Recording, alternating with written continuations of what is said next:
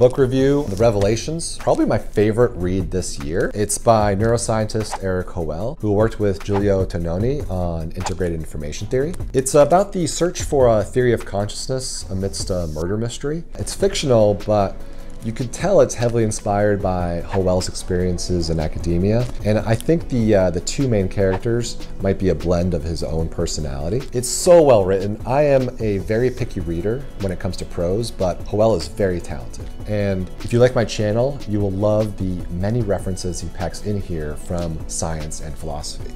So I, I highly, highly recommend it. I love this book.